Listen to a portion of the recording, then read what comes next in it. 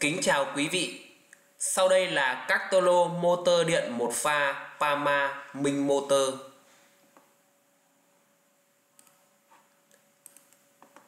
Đây là mẫu sản phẩm động cơ một pha GMIL xuất khẩu châu Âu của công ty Hồng Phúc. Đây là động cơ một pha chân đế. Đây là động cơ một pha mặt bích B35.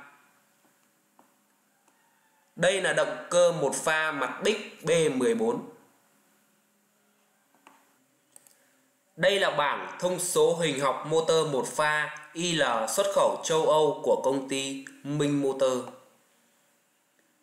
Với động cơ 0,37 kW, 1 phần 2 ngựa, 1 phần 2 HP, tốc độ 1450 vòng phút, có mã hàng là 71.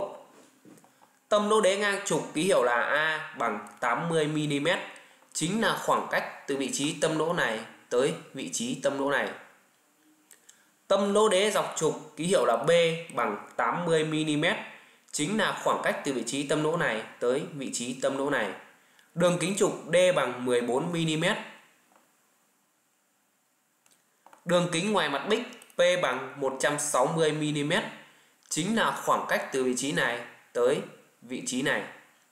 Tương tự như vậy, quý vị có thể xem bất kỳ thông số nào mà quý vị muốn như rãnh cà vét bằng 5mm hay là tổng chiều dài thân bằng 250mm. Xin cảm ơn.